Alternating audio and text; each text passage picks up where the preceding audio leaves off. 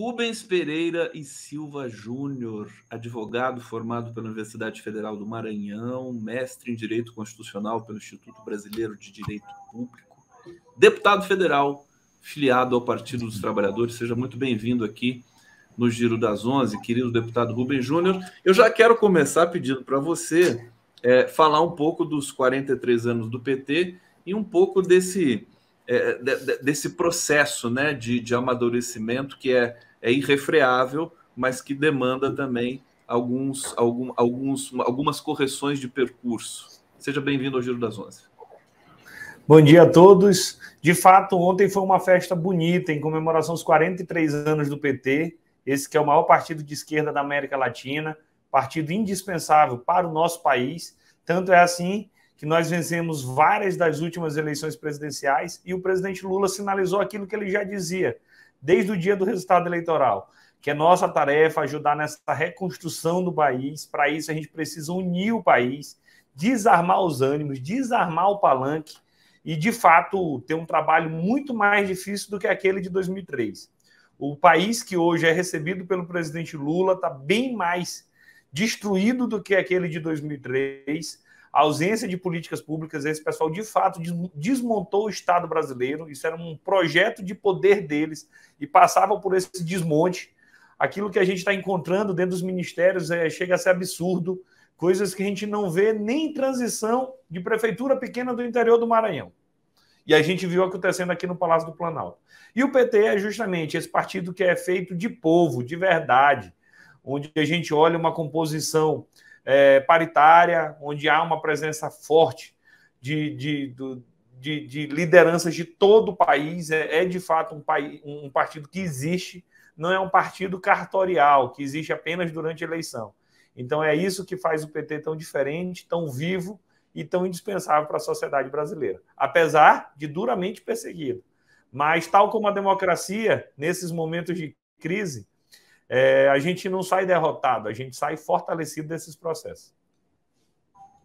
Bom, deputado, o senhor é vice-líder do governo na Câmara, numa Câmara que tem uma oposição é, mais conservadora, é, uma oposição bolsonarista também, é, que surfando aí na onda da, da, da ascensão da extrema-direita, também ocupou um espaço importante na Câmara e o próprio Arthur Lira virou um, personagem é, meio é, híbrido agora, neste momento.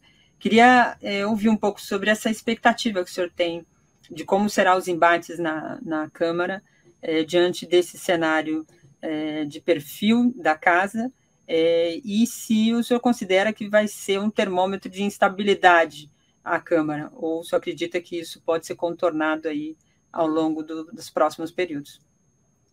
Ó, em primeiro lugar, a gente tem uma oposição aqui reduzida. Não adianta a gente achar que eles são maioria na Câmara, que eles não são. Eles são barulhentos, mas poucos. Tal como na sociedade. Na sociedade também há espaço para o bolsonarismo. Hoje, 10, 15% da população talvez se identifique mesmo com o bolsonarista. É o cara que acha mesmo que a mulher tem que ganhar menos do que o homem porque ela vai engravidar e coisas absurdas do gênero. Então, no, na Câmara também eles não são mais do que 15%, no máximo 20%. É, o desafio é a gente dialogar com essa espécie de centro democrático sob as nossas regras. E o principal, a principal tarefa nossa, enquanto liderança, vice-liderança de governo, é construir maioria parlamentar. Porque sem a maioria parlamentar, nós não vamos conseguir re, reestruturar o nosso país. Várias políticas públicas foram desmontadas nós vivemos uma era de retirada de direitos, que o nosso desafio era resistir a essa retirada de direitos, e agora o desafio é reconstruir. Então precisa ter uma maioria parlamentar, por mais que ela não concorde com a gente em todas as pautas. É natural que a gente vai ter enfrentamento em alguns pontos, dificuldade em outros, isso é, é da democracia.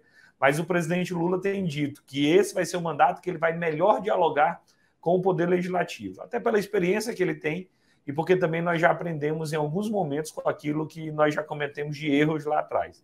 Para teres uma noção, hoje, dia 14 de fevereiro, um mês e meio de governo, e o governo do presidente Lula já conseguiu maiorias legislativas importantes. Duas na legislatura passada, se não vejamos. Foi a primeira vez, Daine, que nós tivemos que aprovar um governo eleito, antes de tomar posse, teve que aprovar uma PEC para garantir a governabilidade. Sem a PEC da transição aprovada lá em dezembro do ano passado, com, com o Congresso passado ainda, hoje nós não teríamos orçamento para governar. Sem a PEC, teria acabado o governo do presidente Lula. Mas nós conseguimos aprovação, tanto na Câmara como no Senado. Antes de tomar posse, isso nunca tinha acontecido. O presidente Lula toma posse, enche de povo o Palácio do Planalto, aquilo que a gente esperava já há muito tempo. E no dia 8 tem uma tentativa de golpe de Estado. Tentativa de golpe de Estado, porque esse era o objetivo deles. Não era uma pauta, ah, eu quero mais educação, eu quero mais emprego, eu quero mais saúde. Nada disso. O objetivo era tentar impor um golpe de Estado é, por contrariedade com o resultado eleitoral. Por isso o ataque foi na, no Palácio do Planalto, no Supremo Tribunal Federal, na Câmara e no Senado. E reparem, toda vez que há uma tentativa de golpe de Estado, as duas primeiras vítimas são o Poder Legislativo e a imprensa. Nesse caso, o Poder Legislativo, a Câmara dos Deputados, foi o primeiro a ser atacado. Só que eles fracassaram nessa tentativa de golpe, eles foram incompetentes, tal como foram no governo, foram incompetentes também nessa tentativa. Isso foi no dia 8 de janeiro. No dia 9 de janeiro, eu estava no plenário da Câmara, era o relator do pedido de intervenção. Foi a segunda fogueira que o presidente Lula pulou, que ali também teria acabado o governo. Se a gente não decretasse a intervenção na segurança do Distrito Federal, essa sanha golpista tinha continuado. Mas aí nós tivemos quase 1.500 prisões. Os acampamentos, que era uma verdadeira fábrica de terroristas, foram desmontados. A gente está fazendo a identificação desses terroristas e isso permitiu que nós continuássemos o governo. Reparem, antes da posse, PEC da transição. Depois da posse, aprovação quase unânime da intervenção. Aí alguém vai dizer, ah, mas isso foi na legislatura passada. Nessa legislatura, nós já tivemos uma vitória legislativa, parlamentar, digamos assim, que foi a eleição da mesa diretora, onde nós compomos com Arthur Lira. É o candidato dos sonhos? Não, mas a gente consegue fazer uma distinção entre o Arthur Lira, deputado, e o Arthur Lira, presidente da Câmara. Com o Arthur Lira, deputado, eu tenho diversas divergências. E isso é democrático. Mas o Arthur Lira, presidente da Câmara, mantém um diálogo cordial com a oposição, e nós éramos oposição até o mês passado, até o ano passado. Ele respeita os acordos feitos. Nós conseguimos manter a vaga da mesa da, da, do PT e a deputada Maria do Rosário foi eleita. Nós construímos um acordo parlamentar para o PT presidir a Comissão de Constituição e Justiça na Câmara dos Deputados, a comissão mais importante de todos, praticamente todos os projetos passam por lá, e sem essa construção política, isso não seria possível. Então, se nós tivéssemos tentado lançado um candidato mais vermelho e perdido a eleição, a gente ia ver repetir o que aconteceu em 2015, quando nós lançamos o Arlindo Chinaga, Eduardo Cunha foi eleito presidente da Câmara, e ali estabilizou o mandato da presidente Dilma de forma permanente, com pauta-bomba em cima de pauta-bomba. O ânimos hoje na Câmara não é dessa instabilidade. Então, esse termômetro de estabilidade nós não teremos de forma permanente. A primeira matéria que deve ser votada é a medida provisória 1138, que mantém uma desoneração de impostos na área do turismo. Foi editada lá no governo Bolsonaro, é correta e hoje o presidente Lula decide que nós votaremos favorável. Porque nesse caso não importa se ela foi editada no governo passado ou no governo atual. Aquilo que é bom para o povo deve ficar, deve ser inclusive aperfeiçoado. Então, talvez a primeira votação, onde a base do governo vai mostrar que hoje já está coesa e que já tem uma maioria sólida, é justamente nessa medida provisória do turismo que deve ser votada hoje à noite já. Tá aí a Câmara pegando o ritmo, né, deputado? Aliás, destacar aqui que a, a deputada Maria do Rosário foi eleita com mais de 370 votos, né? Foi uma votação consagradora. É, e eu queria destacar também o seguinte, deputado, que você é vice-líder do governo na Câmara. É, e eu queria te perguntar como é que está o, o, teu o, o teu horizonte, né? Qual a ação, a prioridade que você vai dar, como é que está a, a, o clima dentro do, do, do, próprio governo na relação com o legislativo. E aí poderia trazer uma pergunta transversal aqui para você comentar, que é a reforma tributária. E está sendo discutido isso com os colegas ali na Câmara Federal? Perfeito. Primeiro, sobre a vice-liderança.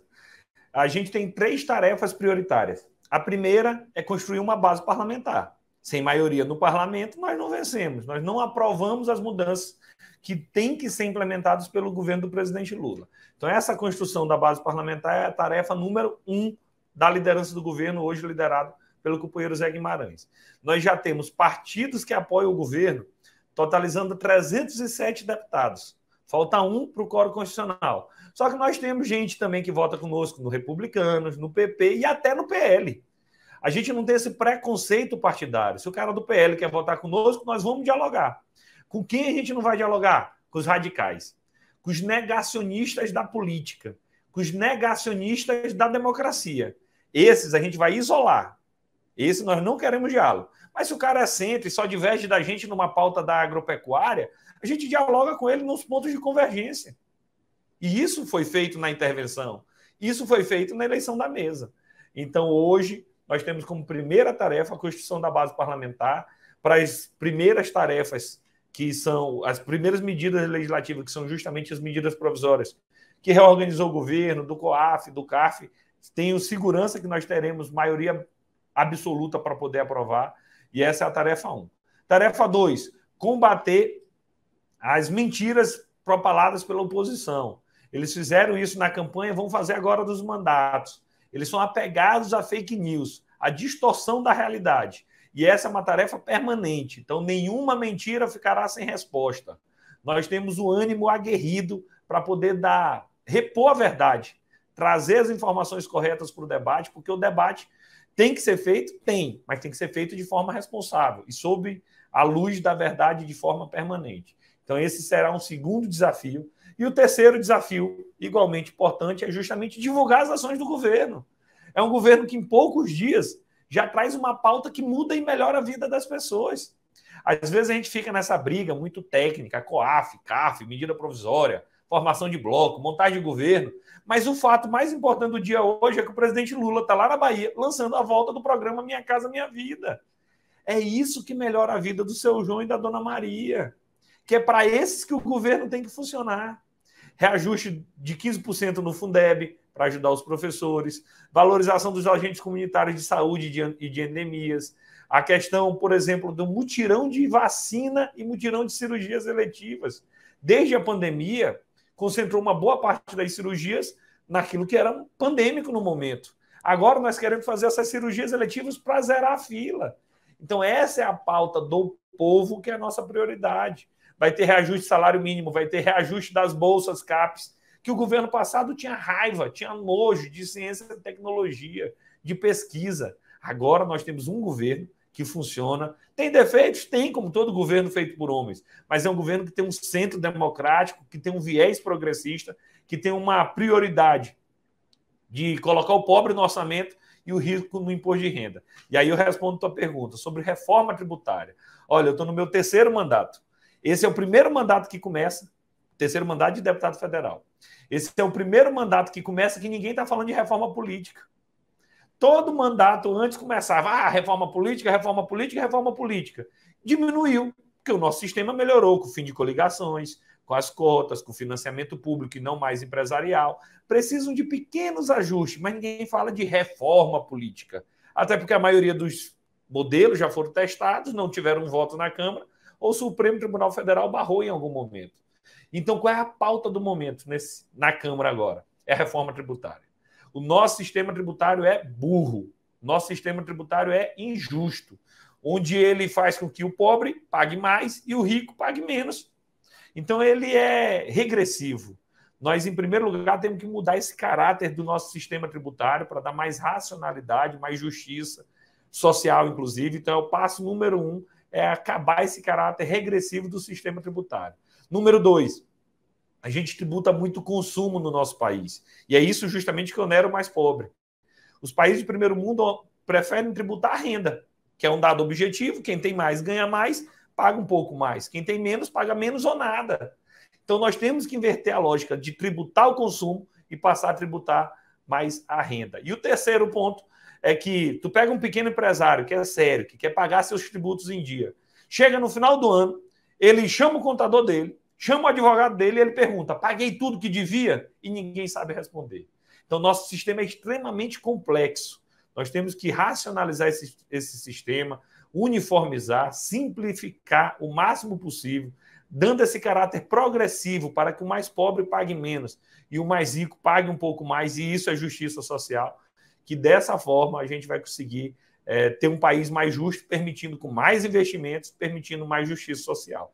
Então, a pauta do momento é a reforma tributária. E só para tu saberes, a gente já tem um texto mais ou menos pronto, o que prova que é apenas questão de priorizar, faltam ajustes. O presidente da Câmara instalou um grupo de trabalho para poder debater com 10, 12 membros, afinal, os textos já são conhecidos. E esse grupo de trabalho já vai mandar essa proposta direto para o plenário da Câmara dos Deputados. Então, é possível que ainda no primeiro semestre nós votemos a reforma tributária na Câmara dos Deputados. Perfeito. Deputado, é, nos últimos dias tem é, havido uma discussão bastante grande, até por parte mesmo puxada pelo presidente Lula, em relação aos juros no Brasil. 13,75%, como disse o presidente, é, não dá para o país voltar a crescer. Ontem é, aconteceu a entrevista do é, Campos Neto ao Roda Viva, em que ele dá sinalizações de que não vai mudar a sua política é, monetária ali em relação aos juros e é, principalmente a questão das metas da inflação.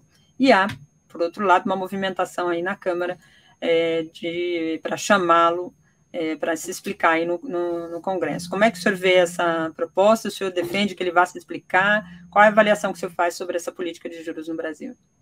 Então, bora primeiro pelo lado mais econômico, depois para o lado mais político. É, só, só tem uma coisa que antecede essa análise econômica. O presidente Lula fez uma crítica ao presidente do Banco Central.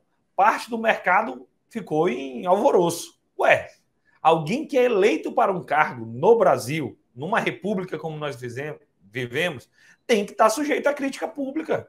Não há ninguém intocável. Não há ninguém que a gente não possa debater, não há um assunto que não possa ser debatido. Inclusive, a estabilidade e autonomia do Banco Central, inclusive a taxa de juros fixada. Esse é um debate que deve ser feito de forma pública, ainda mais com a autonomia do Banco Central.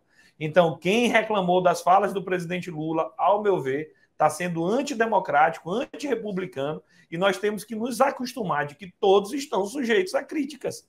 É o que nos cabe. No direito, quem dá a palavra final é o Supremo Tribunal Federal. Mas até uma decisão do Supremo Tribunal Federal que a gente obedece, que a gente cumpre, ela pode ser passível de críticas, por exemplo, na academia, na imprensa, no parlamento. Então, por que, que o presidente do Banco Central não pode ser criticado? Chega a ser absurda essa conclusão de que alguém eleito estaria é, seria impassível, digamos assim, de críticas. Então, pode se acostumar que nós vamos criticar quando a gente não concordar com as políticas adotadas. E nesse caso específico, qual é o dado objetivo? Nós temos uma inflação controlada, comparado com outros partidos do mundo, outros países do mundo, e a taxa de juros é uma das maiores do mundo. Então não faz sentido juros tão altos com a inflação controlada. E alguém pode dizer, não, mas o governo vai gastar mais não vai gastar mais do que o Bolsonaro gastou. Ele gastou com viés eleitoreiro. A gente quer. A gente está investindo para poder remontar um país. Segundo, há um déficit de consumo no nosso país, o que vai permitir que a inflação não seja proporcional diretamente aos gastos. Nem sempre, quando você gasta mais, automaticamente vem inflação. E mais importante, o presidente Lula já disse: nós temos responsabilidade social, mas nós temos responsabilidade fiscal. Foi assim durante todos os mandatos do presidente Lula. Os oito anos nós tivemos superávit. E ele vai buscar por isso novamente. É por isso que nós teremos um novo arcabouço fiscal. Então, chega ao absurdo de termos, em dado momento, a taxa de juros de médio prazo no Brasil mais alta que a de longo prazo. Ué, a lógica dos juros não é quanto mais tempo, maior retorno.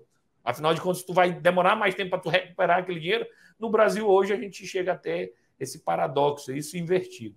E nós já ouvimos em dado momento que o Banco Central quer aumentar os gastos com juros, quer aumentar a taxa. Então, essa reprimenda pública, essa crítica pública, menos pelo valor desse que foi mantido, que eu até já imaginava que seria mantido, mas é para evitar aumentos futuros e para a gente começar o debate na sociedade para finalmente reduzir a taxa de juros. Para ter uma noção, ano passado nós gastamos de juros o equivalente a quatro vezes o que foi investido na saúde, cinco vezes o que foi gasto com educação e 50 vezes o que foi gasto com servidores públicos. Cada 1% que tu aumenta na taxa de juros aumenta muito o déficit das despesas públicas, o déficit do país, apesar de que o nosso déficit hoje todo é, é nacional, é todo em real, não é mais dívida externa. Isso já ficou lá no, na década de 90. Então, o nosso desafio é poder reduzir a taxa de juros até para aumentar os investimentos públicos e privados. Com uma taxa de juros tão alta como essa, quem quer investir? Quem vai querer trabalhar? Só está ganhando dinheiro quem está no capital rentista. O cara está ganhando dinheiro sentado, sem produzir nada para a sociedade. Isso desequilibra. Então, nosso desafio é, de fato, estimular o debate para que haja esse convencimento, para que nós possamos provar de uma vez por todas de que nós temos responsabilidade social, que é a nossa marca, mas nós temos também responsabilidade fiscal. Aí vem para a parte agora justamente da política. E a convocação do presidente do Banco Central. Devemos ou não devemos convocar? Aí eu tenho que dar uma opinião mais jurídica do que necessariamente política.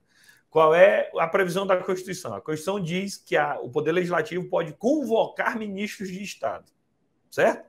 E aí a evolução desse entendimento é que tu pode convocar ministro de Estado ou quem tiver o cargo equivalente a ministro. Ok, vou dar um exemplo: Secretaria de Comunicação, Paulo Pimenta. Ele é equivalente a ministro de Estado. SRI, Secretaria de Relação Institucional. Apesar de ser uma secretaria, se equivale a um ministério. Então, a gente pode convocar um, ministério, um secretário que tem tamanho de ministério. Só que o Banco Central não tem mais essa equivalência com o ministério.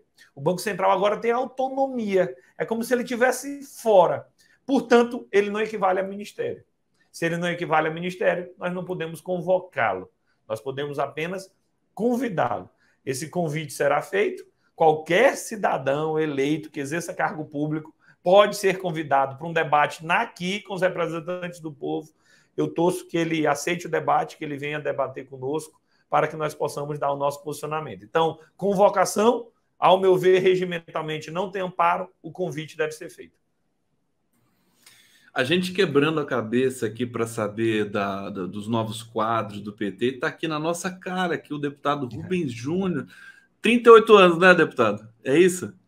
E já é no isso. terceiro mandato de deputado federal. Quer dizer, olha, fantástico, viu? A gente quer quero manifestar aqui a minha. Já, já te conhecia, evidentemente, né? Mas trabalho, né? A clareza com que você trabalha as ideias aqui, realmente é, a gente tem que entender que o PT está sim renovando seus quadros e está pertencendo à contemporaneidade da, do debate público. Reginalíssima aqui, ela tinha dito o seguinte, ela traduziu para mim o comentário dela, o Bob Fieldzinho é, não vai renunciar nem baixar juros, né? Que ela tinha dito aqui. Obrigado, Reginalíssima. Ela comenta de novo: parlamentares boicotam Dilma e culpam, e a culpa de competência, né? É, boicotaram, né?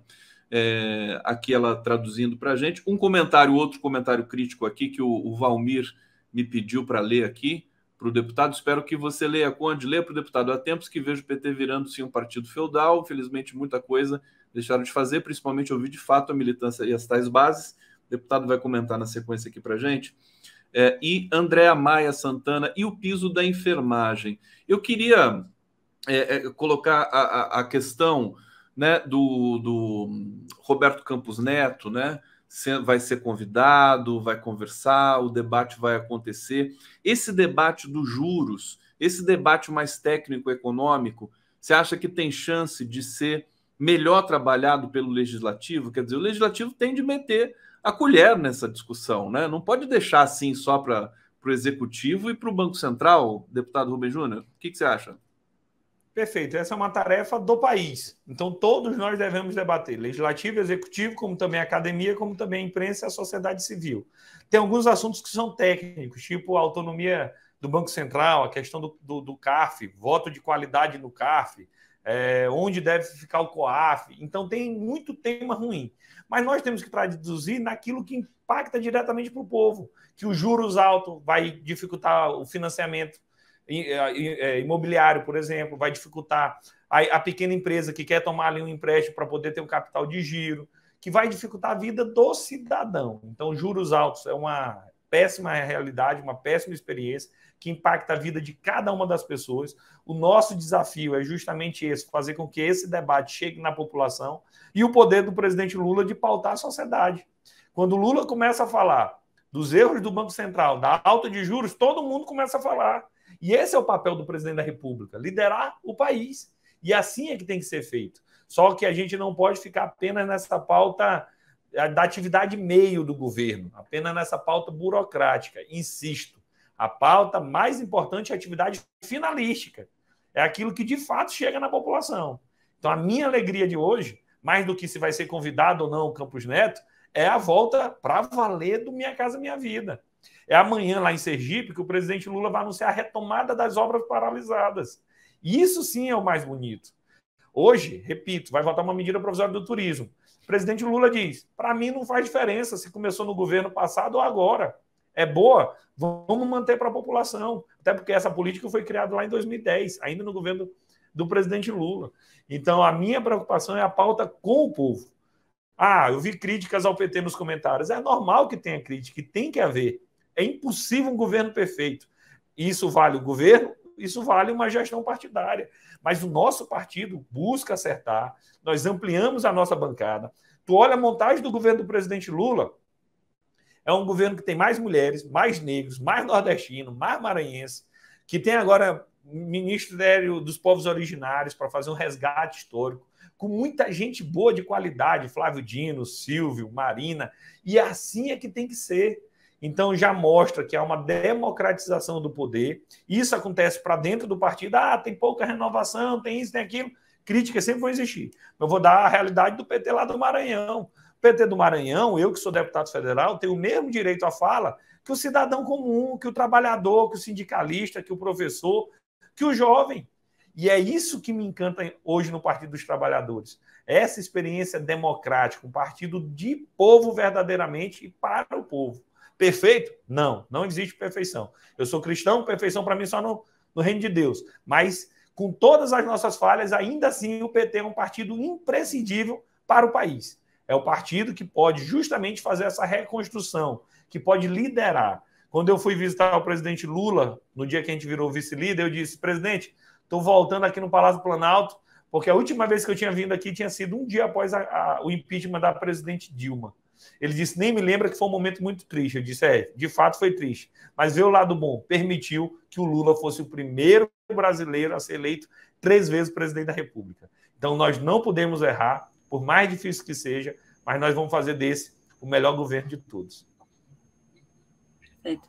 Deputado, uma última questão que eu queria abordar aqui é sobre os atos é, terroristas golpistas. Né? Hoje teve uma operação, uma sexta operação da Polícia Federal, é, diante de todas as investigações, muita, muitas prisões sendo encaminhadas a partir daí das, das apurações, das investigações, e muitas informações também dando conta, o 247 até deu aqui é, uma conversa entre o Ibanês e é, o ex-senador é, Estevam, tratando ali sobre uma tentativa de culpar o, o governo federal sobre essas questões aí da, dos ataques que resultaram na destruição é, na Praça dos Três Poderes.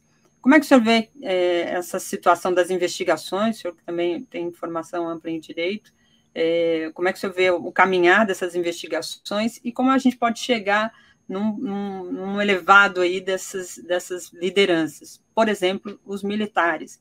Até agora a gente tem algumas informações sobre o andamento das investigações em relação aos policiais militares do Estado, do Distrito Federal, né, do, do, do Distrito Federal, mas pouco se tem ainda sobre a questão militar, que é sempre um, um setor nervoso e que causa certa preocupação também nas consequências de instabilidade do governo. Como é que o senhor vê isso?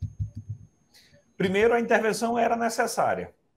Uh, o sistema de segurança do DF levou a erro o governo federal a gente o tempo todo perguntando para ele: vai ter, vai ter, vai ter, ele dizendo: não, não se preocupe, não se preocupe, não se preocupe. Teve o atentado, teve a tentativa de golpe.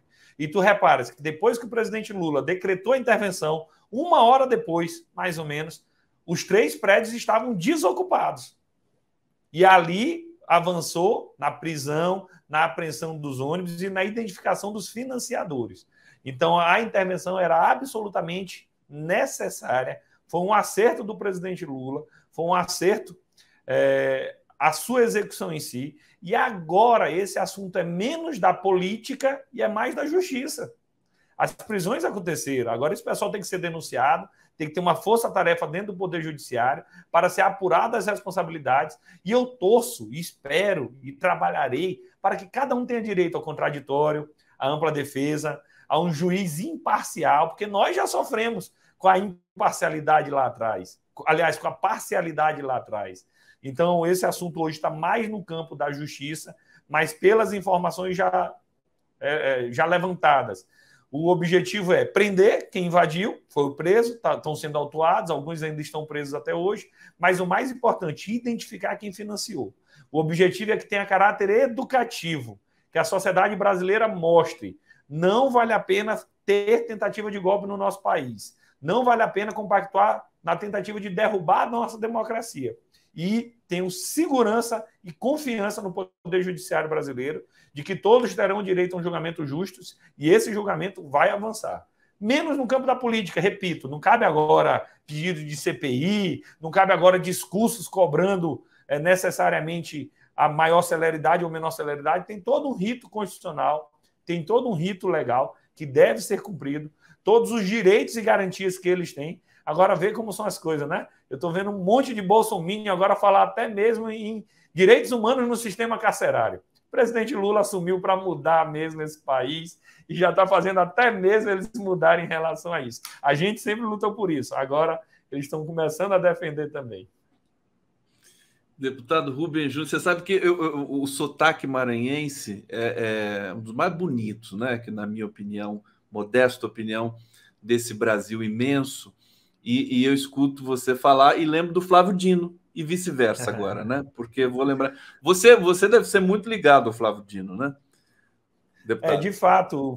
Eu, eu, entrei na política junto com o Flávio em 2006. Eu estava recém-formado em Direito na Universidade Federal do Maranhão. Eu estava na dúvida: eu vou ser juiz, vou ser político, vou ser juiz, vou ser político. Porque eu tenho A mesma dúvida que ele teve, né? Quanto de juiz. E ele tinha acabado de renunciar à magistratura federal. Aí ele me disse: olha, se fosse bom ser juiz, eu estava lá. Eu vim foi para a política ele usava uma frase que era o seguinte: tu, como juiz, tu faz justiça em um processo em 50 e 100. Mas para fazer justiça para 7 milhões de maranhenses, para mais de 200 milhões de brasileiros, é só através da política. Então, com todo o defeito do mundo, é a política que ainda tem esse, esse papel. Não foi a justiça que voltou, é, que, que, que deu, por exemplo, o voto direto, não foi o judiciário que acabou com a ditadura. Pelo contrário, algumas vezes o judiciário até sucumbiu a essas tentativas golpistas quando a gente analisa a história. Aí o Flávio foi meu professor, orientador da monografia, padrinho do meu casamento. Eu era do PCdoB junto com ele. Quando ele saiu do PCdoB para ir para o PSB, eu digo: opa, até logo, agora eu vou direto para o PT. Mas a nossa relação continua muito boa. Você foi mais, mais ligeiro que ele, né? Opa, deixa eu aproveitar e ir para o PT. Obrigado, deputado. Eu já fui ao contrário, eu já fui foi dizer, Flávio, vem agora para o PT, que é que eu fui muito bem recebido. Sempre muito bom te receber aqui no Giro das Onze. Espero que você volte em breve aqui para a gente prosseguir nesse debate tão importante para o povo brasileiro. Enfim, vamos acompanhar toda a movimentação aí no Legislativo de 2023, essa, essa legislatura que é tão importante para o Brasil. Obrigado, deputado Rubem Júnior. Obrigado, até mais. Bom dia a todos.